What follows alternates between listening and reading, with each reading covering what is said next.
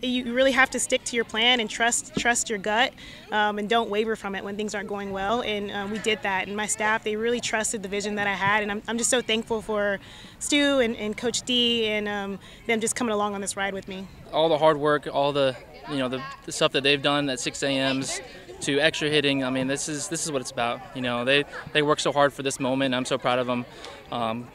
Coach Stowe has brought this program from the ground up, and to do this in three years is, is amazing. So, so, so excited for these guys. Something that we we didn't really expect, but we knew that what we were doing was were the right things. Like we worked hard every day. We told our kids like, hey, like you keep going for it. Um, you know, keep striving for those goals. And it was funny how like you know, they started to really believe, and we knew we were talented. We just had to put some things together from pitching, defense, and offense, and um, it really started showing off in regular season. And we just we just rolled with it, man.